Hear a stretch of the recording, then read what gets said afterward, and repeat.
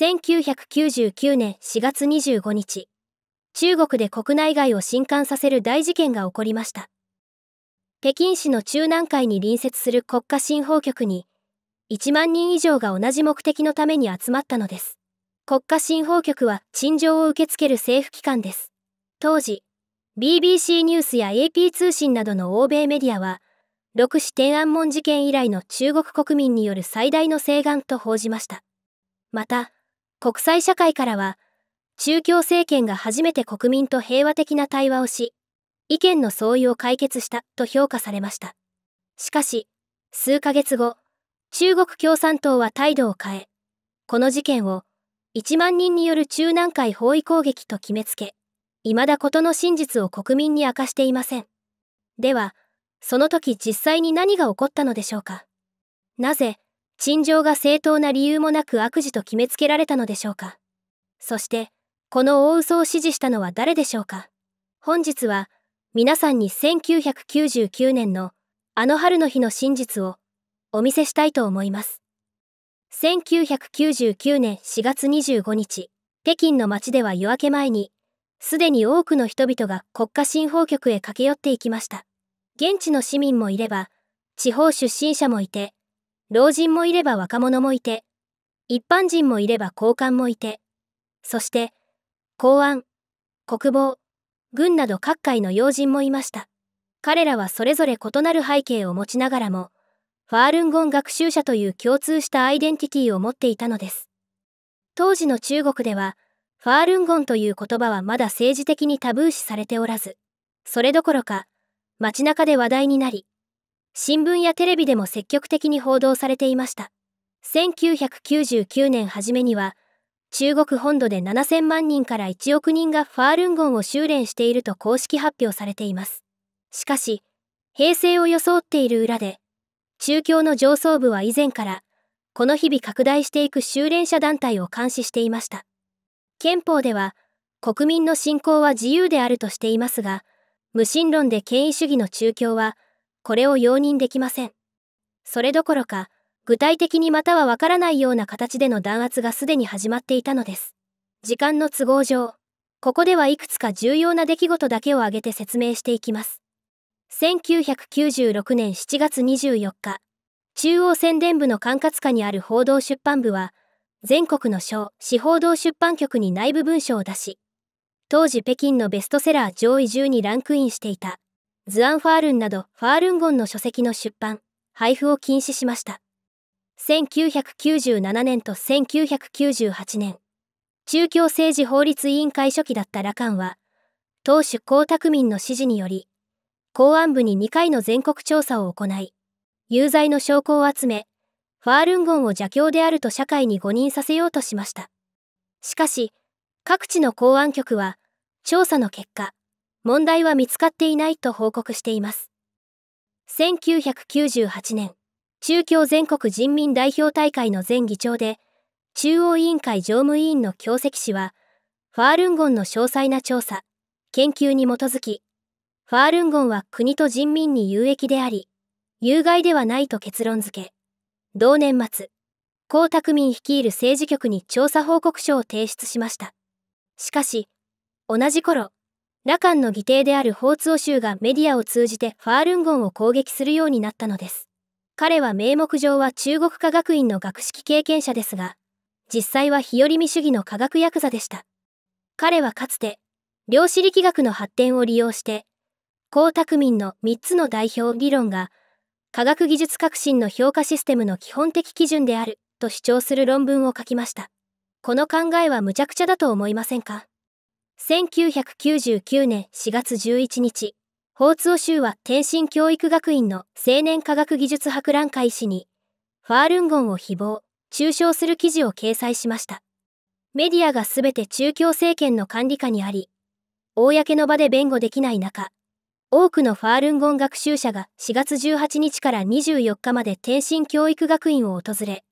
ファールンゴンの修練によって心身ともに恩恵を受けたことを職員に伝え、法津オ州の記事の不正確な部分を指摘しました。同行したファールンゴン学習者で元メディア幹部の長尺警視の回想によると、当初、教育学院の編集部は誠実に対応し、不正確な報道を訂正する意思を示したものの、すぐに状況が変わったといいます。ファールンゴン学習者の訪問中、4月23日の午後、教育学院の覚醒器から突然、直ちに退去せよとの放送が流れ始めました。また、中庭の右側2階の窓から誰かがビデオ撮影していたそうです。その日の夕方、天津市公安局は数百人の機動隊員を動員し、ファールンゴン学習者たちに対し、一方的に暴力を振るいました。負傷して血まみれになった人もおり、45人が不法に逮捕されてしまいました。4月24日、ファールンゴン学習者たちは天津市政府に仲間の釈放を求めに行きましたが、公安部がすでに介入しており、問題を解決したければ北京に行くべきだと言われました。この発言は、ファールンゴンを迫害するための中国共産党の違法機関である、天津610弁公室の元幹部、各方軍氏によって確認されています。2005年6月8日、オーストラリアでのインタビューで、各氏は、教育学院は和平区に位置し、我々の管轄内にあったと述べました。市政府の者が彼らを迎え、あなた方、ファールンゴンのことは天津の管轄外であり、陳情は北京に行くべきだと伝えたといいます。つまり、まず天津で不法逮捕があり、天津の役人の助言でファールンゴン学習者たちは北京に陳情に行ったのです。天津事件を目撃したファールンゴン学習者の李慶さんによると、当時は誰もが政府を信じており、4月24日の夜に北京へ出発した学習者もいれば、25日に到着した学習者もいたといいます。同時に、問題を解決するために北京に行かなければならないという情報が天津と北京のファールンゴン学習者たちの間で急速に広まり、4月25日、1万人以上が国家新法局に集まりました。この人数は多いのでしょうか？当時の中国のファールンゴン学習者の総数を見れば、1万人のうち1人が上京したことになり、決して多いとは言えません。しかし、比率を考えずに、1万人以上だけで見れば、やはり相当な数です。では、これだけ多くの人が陳情に行った後、どうなったのでしょうか ?CCTV の映像や現場の写真を見ると、ファールンゴン学習者たちはスローガンや横断幕を掲げることもなく、対向車や自転車の通行を妨げることもなく、歩道の端に静かに立っていました。法秩序を守る警察官も全く緊張した様子を見せず、タバコを吸ったり、雑談をしたりしていたのです。では、ファールンゴン学習者たちは具体的にどこに立っていたのでしょうか。元聖火大学土木工学准教授で、ファールンゴン学習者のスイン氏も、その日に国家新法局へ行きました。彼は、午前7時過ぎに浮遊街北口に到着したと振り返っています。浮遊街は中南海の西側の壁の外側にあり、国家新法局に隣接しています。彼が到着した頃は、まだ人影は少なかったのですが、警察はすでに浮遊街への歩行者の侵入を禁止する封鎖線を敷いていました。だんだんと四方八方から人が増え、8時頃、警察が北口の封鎖を解き、学習者たちを中南海の正門へと誘導したといいます。その後、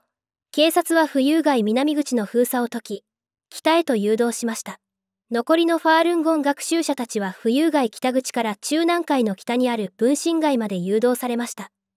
聖火大学美術学院を卒業し、ニューヨーク在住のファールンゴン学習者の総太陽さんは、最初はみんな適当に立っていたが、通行のための道を開けていた。しばらくすると、数人の警察官がやってきて、あちこちに立つように指示し、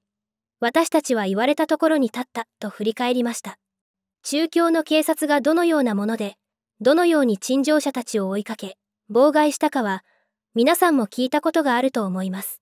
なぜ彼らはファールンゴン学習者を誘導するような優しさを持っていたのでしょうか。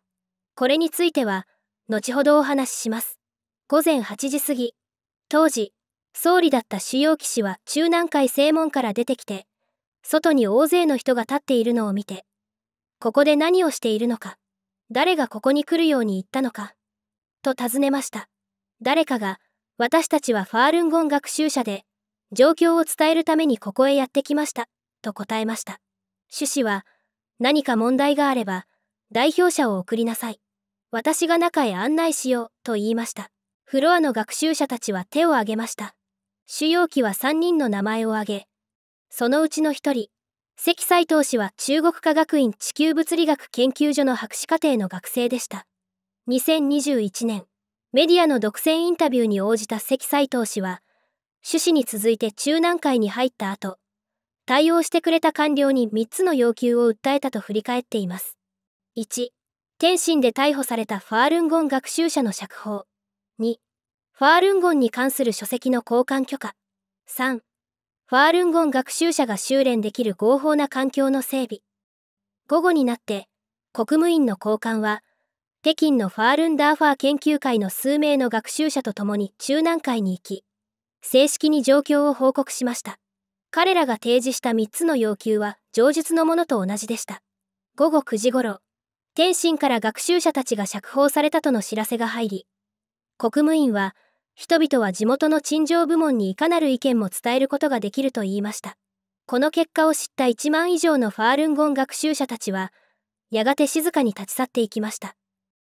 当時、聖火大学に通っていたファールンゴン学習者のシャイコク博士によると、その場にいた女性警察官は、10時間以上滞在し、去っていった際も静かで、ゴミも全くなかったと感動していたといいます。その時、ファールンゴン学習者たちは皆、問題がうまく解決されたと思っていました。海外メディアも、学習者の平和的、理性的な言動と政府の開放的な態度を評価し、中国共産党設立以来、初めての政府と民衆の平和的、理性的な対話であり、共産党史上の先例となったと称賛の声を上げました。しかし、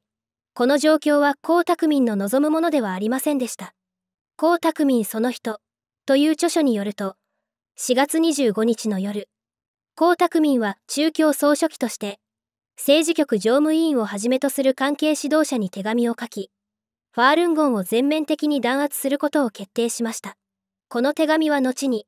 江沢民門前第2巻に掲載されました。7月19日、中共民政部はファールンゴンを非合法組織とし、禁止しました。当メディア人民日報が8月13日に掲載した記事では、4月25日の陳情は中南海の包囲と偽られ、2001年1月7日には中南海への襲撃に格上げされました。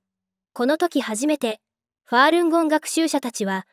警察が警戒線を解いて、中まで案内してくれたのは、親切心からではなく、包囲網を形成するように誘導し、後日の誹謗中傷のための捜査を仕組むためであることに気づいたのです。しかし、それでも現場の写真を見ると、陳情者たちは中南海の特徴である石壁側に集まっているわけではなく、道路を挟んで反対側に立っていることがわかります。しかも、中南海の東側にも、正門のある南側にも、人だかりはありませんでした。包囲はどこから出てきた話でしょうか当然、襲撃した事実もありませんでした。ファールンゴンのウェブサイトによると、ファールンゴンは、人々に真、善、任の原則を守ることを教え、習得しやすい5種類の方法を教えています。修練者は継続的に精神と道徳を向上できれば、健康な体を得ることができます。さらに、ファールンゴンの著作には、修練者は政治的な願望を持たず、政治や権力に興味を持つことはないと明記されています。それなのに、江沢民はなぜ、ファールンゴンを排除しようとしたのでしょうか？江沢民は政治局常務委員会に宛てたその手紙の中で、取り締まりの理由として、ファールンゴンを修練する人が多すぎることと、ファールンゴンの信仰が共産党の思想と矛盾していることの2つの理由を挙げました。実はもう一つ、表には出せない理由があり、それは江沢民のファールンゴンに対する嫉妬です。元北京公安局政治保安課長で、二等警視の小慶春氏は、江沢民の側近が時折、ファールンゴンの創始者である李光氏先生がいかに交渉で、数億人に尊敬されているかを話していたことを明らかにしました。当時の中共政権及び軍のトップであった江沢民は、嫉妬のあまりファールンゴンを弾圧する決意を固めたのです。また、1999年11月12日付のワシントンポスト紙は、中共内部情報筋によると、政治局はファールンゴンの取り締まりについて全会一致で合意しておらず、江沢民の独断で弾圧が決定されたと報じました。特に、自分の周囲にファールンゴン学習者が多いと知ってからは、一刻も早くファールンゴンを根絶やしにしたいという思いが一層強くなった。内部情報筋は、ファールンゴンを撲滅することは、江沢民個人の意思であることは明らかである、と言っている。ファールンゴンの創始者、李光氏先生が今年初めに発表した、なぜ人類はいるのか、という文章が、世界中で多くの反響を呼んでいます。そんな中、李光氏先生は今月17日に新しく、なぜ主情を救い再度するのか、と題する文章を発表しました。ある歌人コラムニストは、2つの文章を読んで、最後に創世主が人々を救いに来たのだと信じている、と言います。私たちに見えるもの届くものは限られていて人間の命は取るに足らないものです。しかし李先生はそれを語ることができた。李先生の2つの文章を見ると非常に高い視点から物事を見ていることが分かります。李先生は人間や社会そして長い長い歴史を見てきたのです。これは1日や2日ではなく数億年という非常に長い時間を神の目線で見てきたのです。コラムニストの過壁投資は、ファールンゴン創始者の李光氏先生が発表した、なぜ人類はいるのか、と、なぜ主情を救い再度するのか、の2つの文章は、全人類にとって非常に重要で、真剣に受け止めるべきであると話します。これは、人類や社会に対する非常に良い警告、注意喚起であると常々感じています。この世の中は私たちが理解できない世界へと向かっています。その状態の中で今が終末の時であることも見えてきます。李先生のこの言葉は私たちにいろいろな気づきを与えてくれました。いろいろなことに目を向けさせ視野を広げ世界を見る目やそれに対する考えを深めてくれているように思います。だからこそ李先生は人々に尊敬されています。私はこれらの文章を一つ一つ丁寧に読んでいきたいと思います。これはとても重要なことで人々が無視してはいけないことです。歌詞は彼がキリスト教などの世界観や宗教的な制約を受けずに文章を読んだと話します。そうすることでより高い理解を得られたといいます。例えば私が少量の水が入った小さなコップだったとしましょうそこに誰かが大きなボトルを持ってきて水を注いだとします。その時重要なのは誰が注いだのかではありません。重要なのは私がそこからより深い真理をより多くより高く悟ることができるかどうかということです。なぜファールンゴンの語る真相からより多くの真理に気づくことができるのでしょうか。誰のどの神の功労なのでしょうか。おそらく私たちにははっきりとわからないでしょう。しかし別の角度から話すと私たちに福音をもたらすもの善をもたらすものは私たち人間の知恵を超えて私たちを持ち上げるものすべては私たちが認める神であります。私たちはこれらの存在を認めているのです。過壁投資は人類は末後の時期を迎えていると言い創世主が人類を救うためにやってくると信じていました。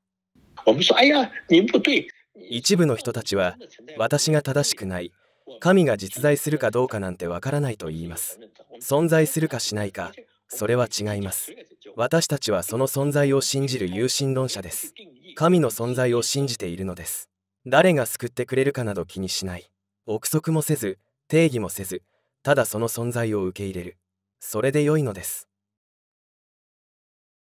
イギリスのニュースを2つ紹介しましょう。1999年4月25日の中南海での1万人のファールンゴン学習者による平和的陳情から24年を迎えました。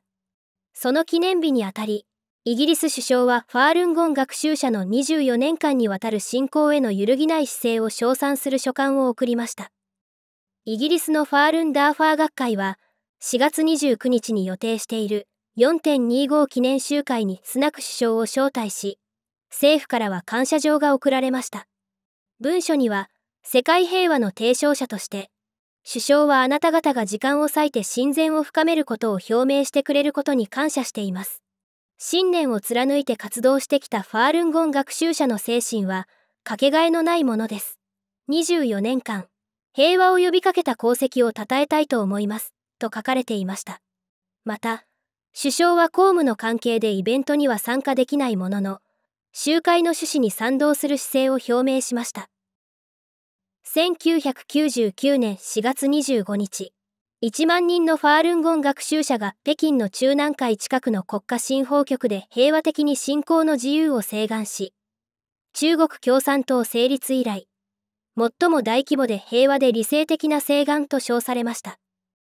しかし中共はその後、方針を変え、ファールンゴン学習者を弾圧し、過酷な状況に陥れ、現在に至っています。その後、ファールンゴン学習者は、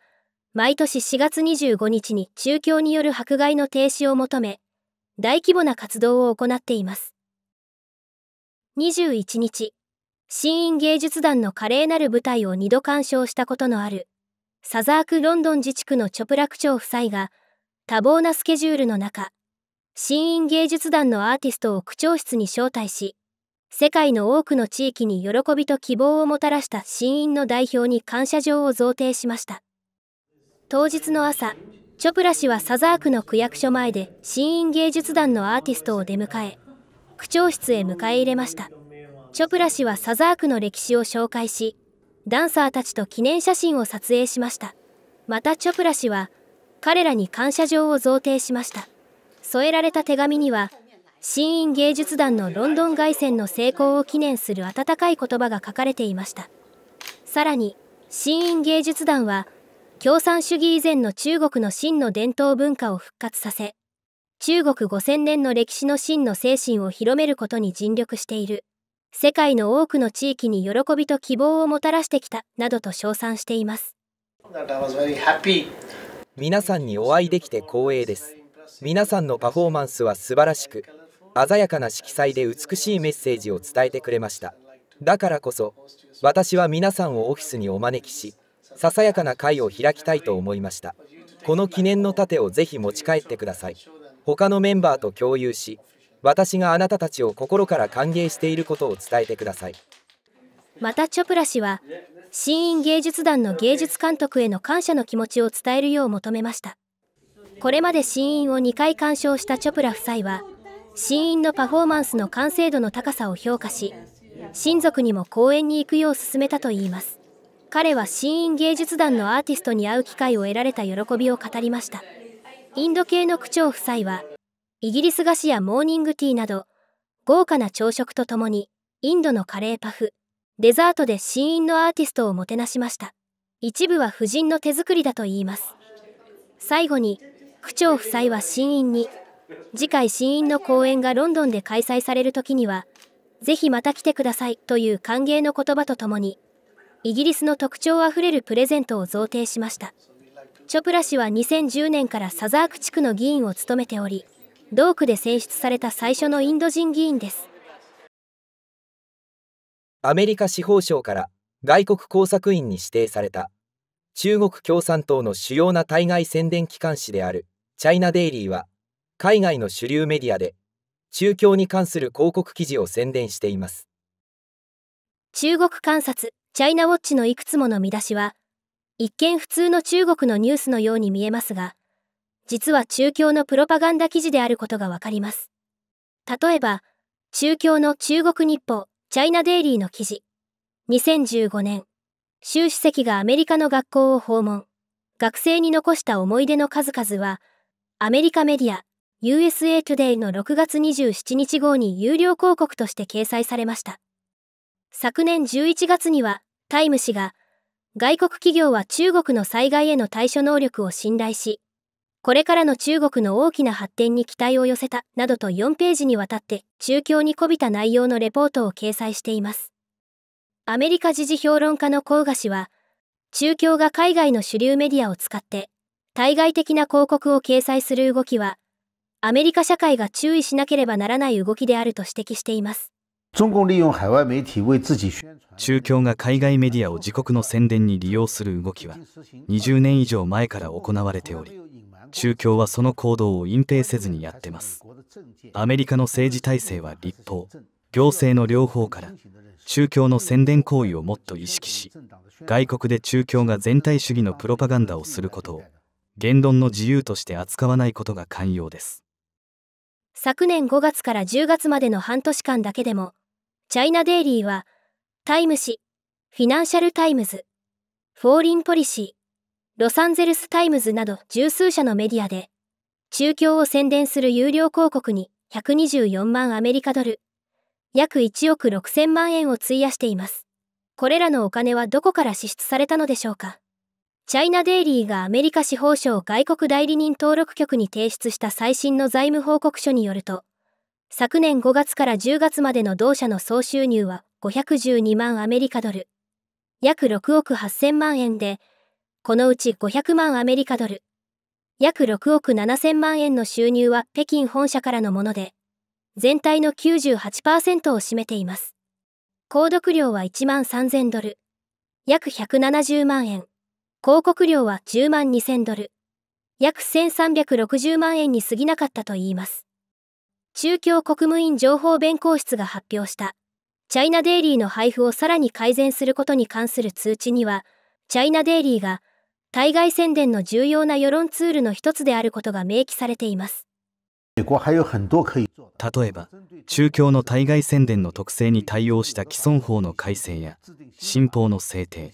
中共の主要な対外プロパガンダに対するより厳しい制限など、アメリカにできることはまだたくさんある。